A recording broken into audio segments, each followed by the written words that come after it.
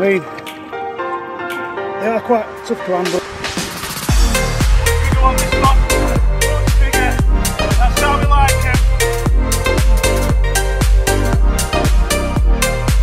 Morning, welcome to Fishing Squad. I've just got down to Mark.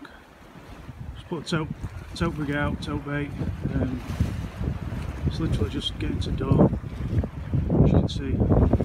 Um, I'm going to put another rod out in a minute, but I've got a few casts for mackerel. Tackle mackerel rod out. See what happens. I'll spin you around. Don't know what the footage is going to be like. You can just about see me. Um, I'll try and I'll just spin around so you can see a bit more because we've got light behind us. Yeah, so I was fishing on the in the pocket in the weather. It's going to pick up, wind's going to pick up in a bit off the sea. And it's going to turn it a little bit nasty on here. Not too bad, 20 mile an hour. It's still fishable at 20 mile an hour by the way. But if you get anything decent on, you're going to be struggling to get it out. And you're probably only going to be able to fish with one rod. But, you know, it's about half strict time. I think it's about half five. It's 25 past five now. So what I'm going to do is, know, if you, I've got a bit of frozen bait, three or four mackerel.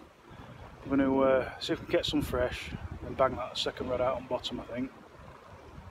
So I'm just going to make sure I put my run on. Uh, what changes that I've done since last time, I've re-spooled both my reels with 65 pound braid rather than 70. Um, seems to cast better. Someone commented about me using braid on marks like this. Um, I do use a mono leader as well. Um, I've never really lost any braid to anything other than a lobster pot. Uh, it always tends to snap either on the, the rig knot or the leader knot depending on what type of snag you're in but generally it snaps on the, snaps on the rig knot so I'd only be leaving mono in the water which I don't like doing that's why I changed to braid rather than using mono to mono leaders. 65 pound to an 80 pound leader can handle a lot more um, a lot more pressure on it when you get in a snag than what um, 25 pound to an 80 pound leader can obviously in mono. So yeah. I think it's reducing like your carbon footprint if you like whatever you want to call it. And also you get more gear back which again reduces what crap we're leaving on the seabed and stuff so I'm going to tackle feathering rod up now it's just getting light probably need it just to get a little bit light it's a little bit darker than it looks on camera we'll see how we get on I mean still waiting for that first tope run of the year I'm sure it's not far away it's just I've had years where I had a run before and when everybody else is telling you that they've caught them, it's get, you feel a bit under pressure. You feel like you're missing out. But oh no, honestly, anyone that's anyone that's catching them now, you know, obviously good luck to you. Know it's uh, it's brilliant, isn't it, when it goes well? That's what it's that's what it's all about. I'm sure there's a PB out there with my name on it at some point over the next few years or whatever. It's just about putting the time in. Um, I'm sure they'll show. But main focus today, really, I make it sound like it's not such a serious tope session just in case we don't get one. We probably won't get one. It's a good tide actually for a tope today to be fair. It's definitely good for mackerel. Um, the main focus today is to get some bait for a big session we're having tomorrow on the tope on another mark. Um, we may be live on YouTube, I'm not sure yet. This video might not be out by the time we are live on YouTube, but we're just going to see see what happens anyway and stuff. I'm going to get cracked on get these feathers out I think. Alright, quick update. I've had a polycomp feathers. I've put both my bottom rods out. I've had a bite on one of them. I'm getting a bite on the other one actually. But I think it's just a doggy or something. So I had a bite on one of them, it developed into nothing. But something's plucking my bait on the other one. I'll pick it up and see if there's out on it. If not, I'll change bait because that, that one the one I cast out first. So Felt either hussy or doggy. You know, not great, is it really? We'll see see if anything's on this one and uh, see if it develops into out and I really didn't change bait. Yes, so just a pollock so far. That bite on that rod that I was on about in the last section of the video didn't develop into anything. Got ripping currents at left now. That wind's slowly picking up. It's not, not a problem at the moment. Um, just how we get on. What about probably 10 or 12 casts with the feathers in between doing my bottom fishing rods. So I'll just have to, oh need to slip down, we'll just have to keep at it. Hopefully, just gone off a shot there. Hopefully, hopefully something will show with these, with mackerel at least. Oh, oh, I'm in. Oh, it come off. I just felt it bang at it. And it come off. Might come back to it. Fair way out that seed. Imagine that must be that'd have been a mackerel, surely. We'll keep at it. Persistence is the key. It has become harder to catch mackerel, you know, off this peninsula. It has. Um, in the numbers that we used to get them, as anyway. But they're still here. They still keep coming back. Um, like I said before in previous videos, it's, it's a nightmare thought that they don't you, you don't get many one one year or you don't get any one year that'd be absolutely terrible I always think I wouldn't criticise people either for taking them if they've caught themselves as long as they just take what they need for food and bait I don't think it's an issue really it takes the demand out of the shops doesn't it off the trawlers and whatever else whoever else is catching them I suppose it is just about slow sustainable fishing to, to, to be keeping. Um, yeah, a bit gutted about that on that last cast. Was a good it was good. You know, I, I drew my rod back like that rod tips bent round. Missed it for some reason. Not to worry. I must just pulled the hook out of its mouth as I was pulling it, doing that long drawback. I tend to find just plenty of long drawbacks, a nice steady reel in. The bulk of my like retrieving my rig I just do long drawbacks like that. Wind the slack in. Seems to do the trick off here. Not in any rush to reel in. Some people go at it like a, a mad, like madman, don't go when they're reeling in. You don't need to. Not when you're in deep water, you don't. As long as there's some movement to it. That's what the fish are attracted to the movement. Though, you know, they'll not. Sometimes, if the, if the rig's static, like then, maybe when I had that hit, I stopped and the fish buggered off basically. If the rig's static, they don't tend to uh, pick it up sometimes. Pollock definitely don't. They only, it if it's moving. They'll take an interest in it but get so far and bugger off. Yeah, this current at left's really hammering through at the minute. Um, let's check the time. So 5.24 when I checked last time, once it's now 6.13, so we've been down here nearly an hour. I've had a couple of bites, I've had a up that I didn't get on camera, run with a small one.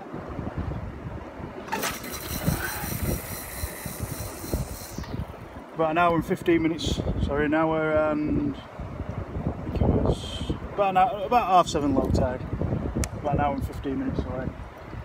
Roughly.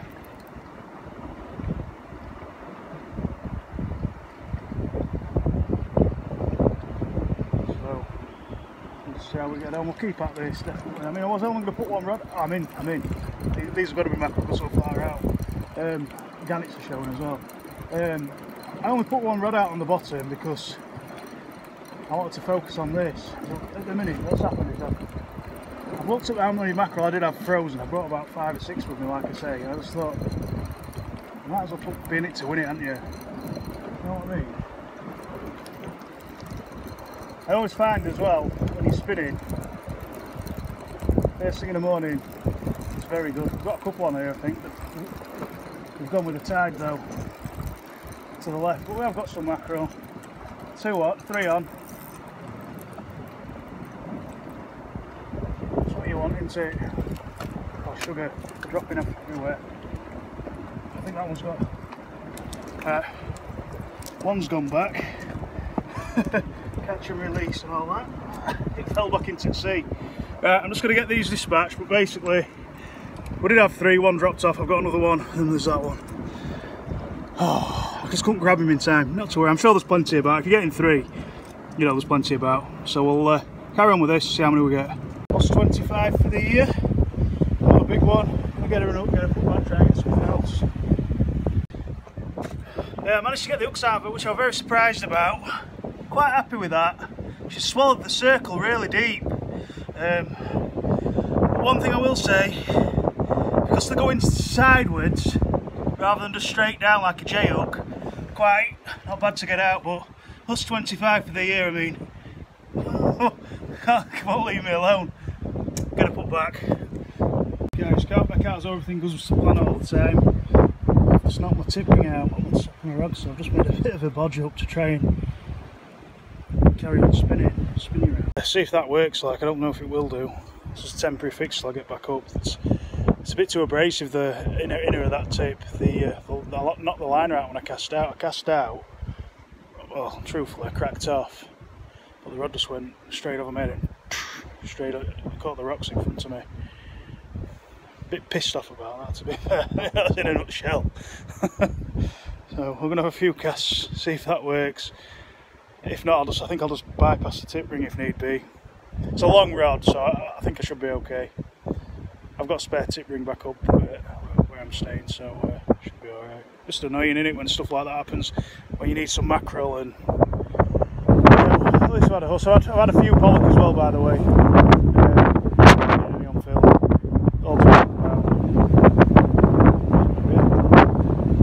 right on this left-hand rod now, on the rod that gave me a minute ago.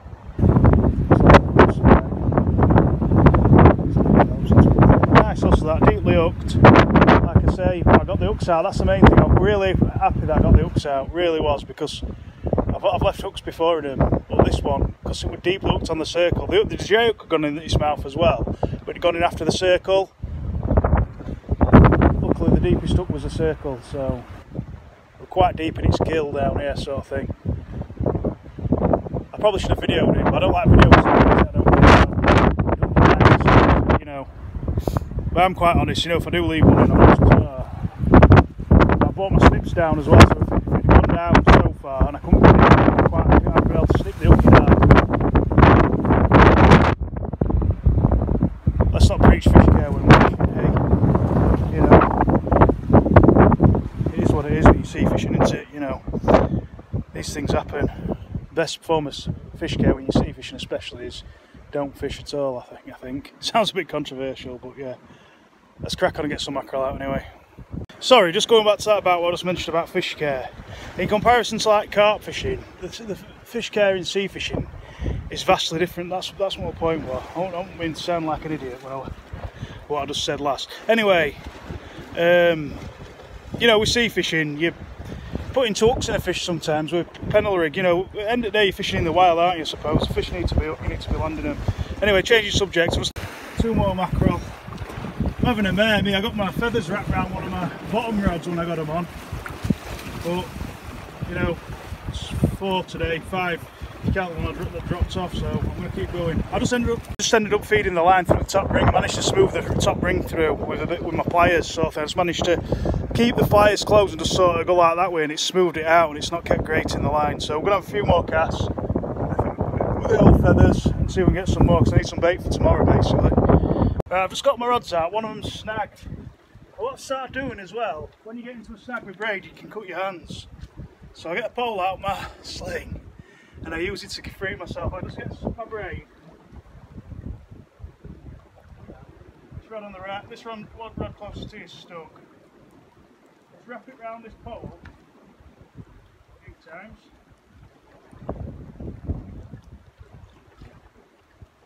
You just walk back. Now. This gives you a bit of leverage so you don't cut your hands. Felt like the weight the weight link was snapped on that there. Oh, I've got it all back I think. I don't know what that were in. Obviously with these slosh 30s, they don't have a level wind on. So you need to speed it on nice and level and fairly tightish. Just put your thumb over it, it's normally enough. Got another rod here, I thought I'd buy them for you.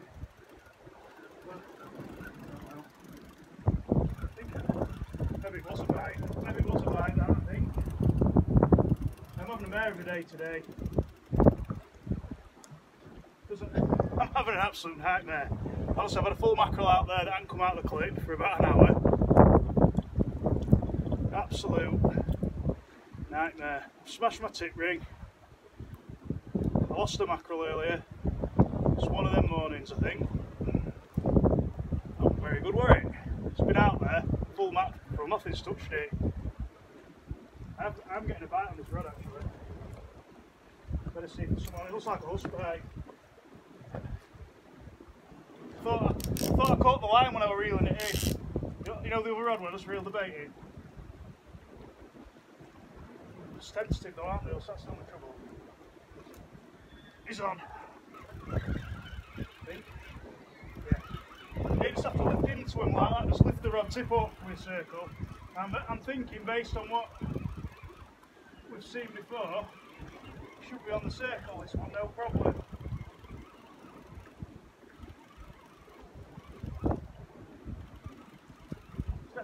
This will be us 26 if we get this one in.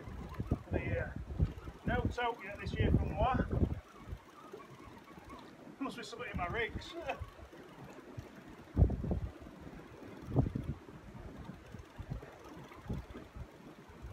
the leader. Oh, it's a small eel. Is it a dogfish? That's a small eel.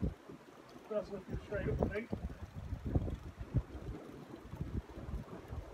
See what chuck you see on? He's on the J up this one. He's a babby conger. I had a conger for a few months actually. When I'm getting regular. It's delicately. These, these small ones have got, well they've all got a bad habit of messing your rig. These small ones are worse for it. Right. So put, I'm going to grab my pliers. Put him down up. Not two rods out of water, is it? But if you get it back, you're supposed to do.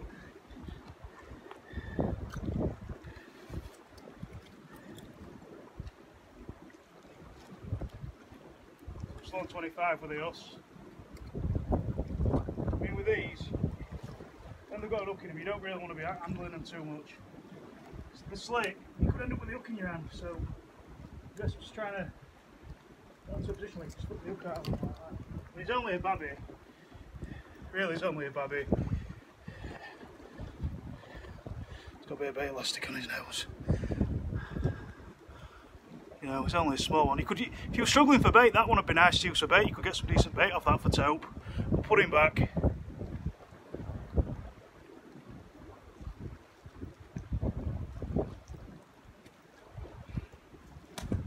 Back he goes, no problem. Well, I suppose we're having a bit of a mixed morning then. Um, bait clip didn't release. I popped my tip ring. I lost the mackerel earlier.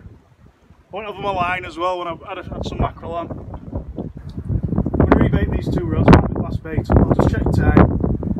It must be after low tide now. seemed like an eternity went by when I was trying to sort that tip ring out because I got that huss as well in between times. Popped the tip ring out and I got the huss sort of after it it was half hour after low so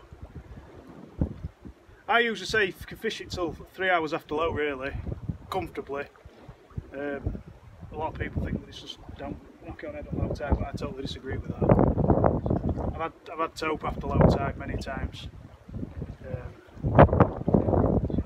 you know, stick it, stick that.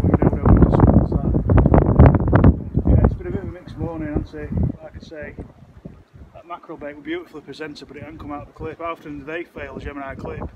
About one in a million. Yeah. Shoots it down to the operator area that. But you can see everybody makes everybody has problems out sometimes. It's one of them mornings. Hopefully things will pick up in a bit. Um, well the fishing front's been alright, but I mean just generally little bits and bobs like that. so we'll, we'll see. I'll bring you back in a minute. Couple more mackerel. But they are here. You're just going to keep at it.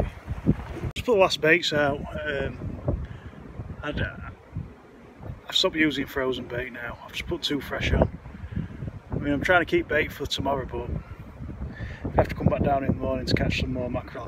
I'm going to have a couple more casts, I think, with feathers anyway, but we'll see how we get on. I've got four, because I've used two for bait. I caught seven in total, if you count the one that dropped off, which I don't really particularly count. Um, I've had six, definitely.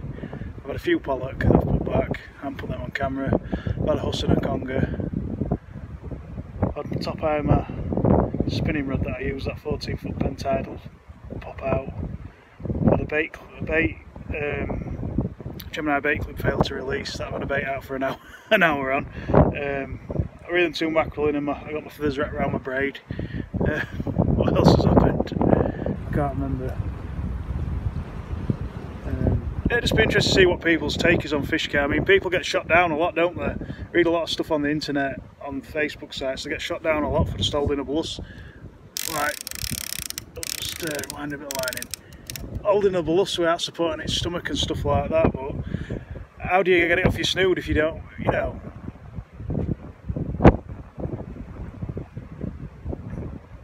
I mean, you, don't want to really probably hold them downwards, do you? But I don't think it really does them any harm. They've always swam off fine with, me. That's just one instance of fish care. I mean, to me, there's no point in being too concerned how you hold them. As long as you're not being an idiot with them, you're being careful with them, it's fine. You know, you, the end of the day, you've, you've winched them up from, from depth. So the best form of fish care for like a hustle or whatever you've got, Hong Kong or whatever, is not to fish for them really. It just seems just read just someone to put in comments what they how they their attitude towards fish carriers. I mean main thing is that the fish swims off fine for me, you don't damage it, you know it's gonna have an hole with its goblet hook spin, you know, treat it with respect. Um, a lot seems to be getting rid of it online. That's why I had that bit of a rant earlier. I end up thinking about stuff when I'm fishing and then it just all comes out sometimes. Well, I've had a horror show over morning, but I've caught some fish, so I've got to be relatively happy that Mr. Tope is not showing for me still, but I will. I'm just going to spin you around because what's new, I've got 65 pound braid. I've put some shrink tubing on the other rod and a reel seat. Um, I'll show you my rods. Yeah, so, so on one rod now I've got a green shrink tubing at the bottom, the reel seat. I've actually put a fishing squad sticker on that one, boxing over it. Um, I'm going to do the same on the other one as well. Uh, for some reason though, I put one reel seat on one way around and one on the other. I took this section back with me last time to put fit the real seat to it, but I didn't really pay much attention to how I put the other one on. We don't want to match it anyway, do you? I like to know which rod's which, to be honest. I've mentioned it before, I don't know if it's an OCD thing or what. Then I've got £65 grade to an £80 mono leader. You know what? That sits on these reels lovely. I think the £70 I was using just seemed to, it, it was okay. But I didn't put 80 on one as well just think it's a little bit too thick, just slightly. But I've got all my gear back today. The only downside that I've got today in terms of losing rigs or whatever you want to call it is I've got a rig up that was on and I managed to get, get the hooks out of it. You know, I was made up that I got the hooks out of that. I actually like get in there, you know, if it had been on camera you'd have been like, you'd have caught it obviously. I was just happy that I got the hooks out of it. Um, it's the deepest I've seen a circle go down happy this morning. I'm happy. I've loved being down here. It's been it's been brilliant, really. Um, seen seen loads of seals this morning. So uh, hopefully we'll see Mr. Tope before we go. I'm just going to tidy a few bits up. So we've got some rain forecast. The wind has picked up a little bit.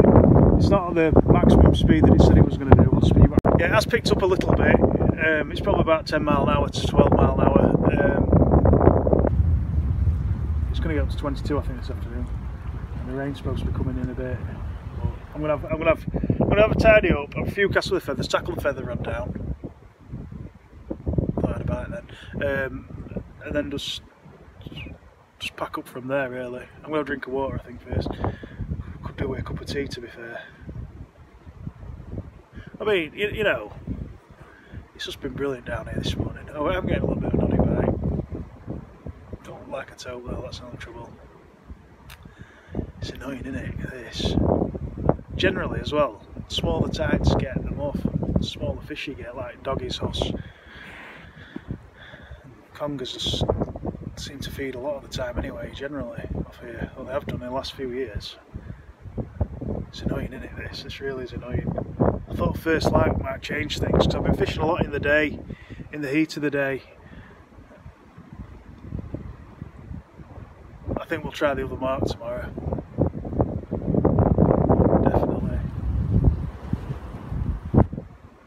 Looks like a doggy bite this. So we'll put you on camera about we'll have a look see what, what it is, if anything, if it materialises into anything. Right, so it's this rod on the right hand side we're looking at. This one here. Just got chuck these in my bag. It's a bit of waistline that one from earlier on. Just don't really want to block your view. I'm just going you what we'll. We'll push the camera back a bit further. Because I want you to see, if you can, I just don't like being too far away. Right, that's better. Right, I've had a little bit of a knock on this rod. It's sounding like a hose spike or something, so I'll just pick it up. Pop your reel a little bit. Take your ratchet off. Just widen it, slap widen. So obviously, I just hold it like that. Seems to lose interest while I was setting the camera back up. Hold um, it.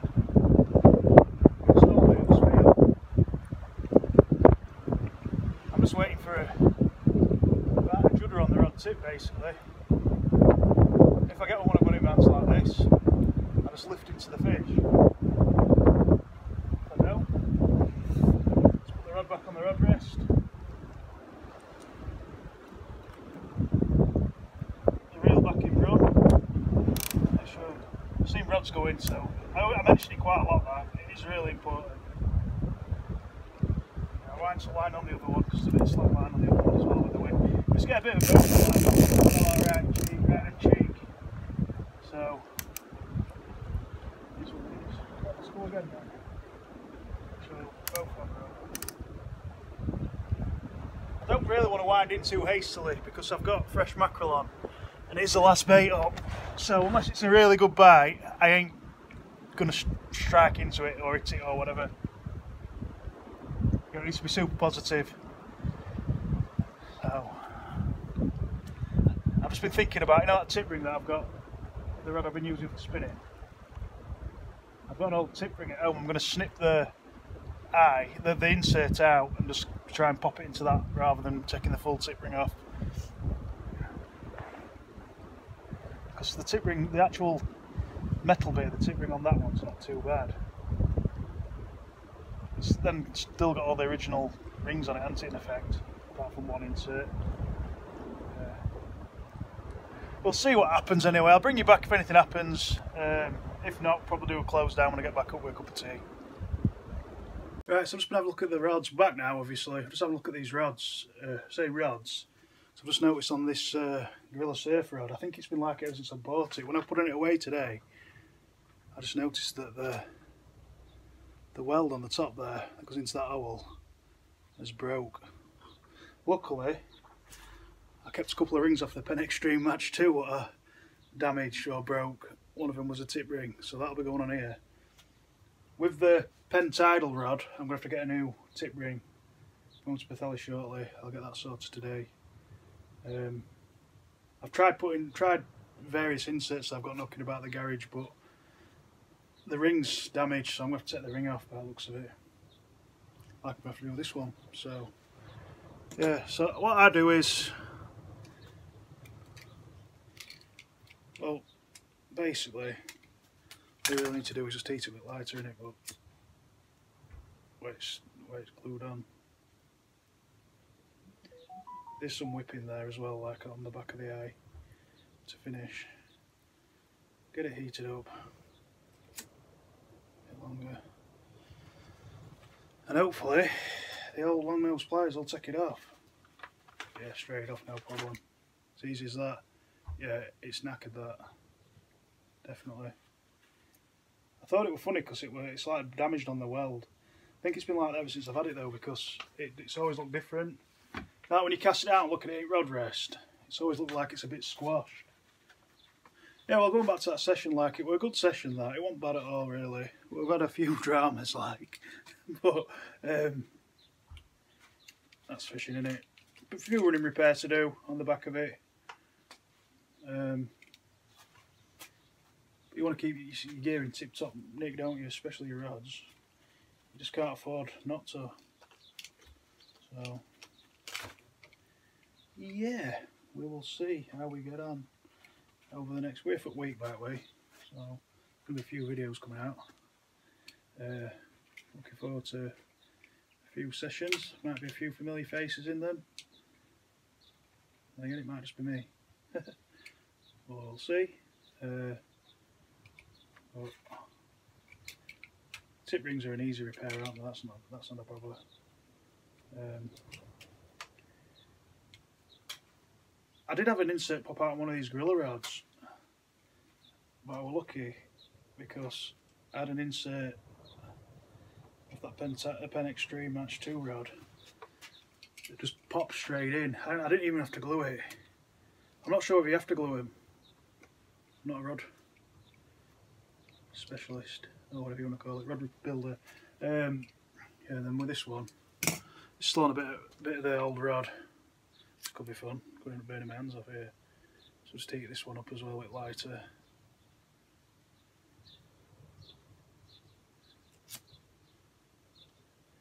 Yeah, it just popped back in that insert like while, while we're fishing a really stormy tide and where we've been this morning and uh, the, the, tripod fell over and knocked an insert out but luckily see if that's done it enough um,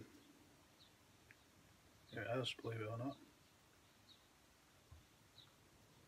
nearly yeah luckily the insert off the off one of my old Penn rods fitted straight in which a result it's been fine you know lead knots been going through it and everything they are Fuji guides on the Penn, on the Penn set on the Penn rods, though, aren't they? Most of them. They are. They used to be. I don't know if they still are. So, yeah, we'll see how we get on. Right, so that's it then. I mean, wasn't a bad, bad little session that. Obviously, I'm not going to go over the negatives with rods and whatever else happened. Um, but um, yeah, there'll be a few more videos coming, so keep an eye out. Cheers, guys. See you later.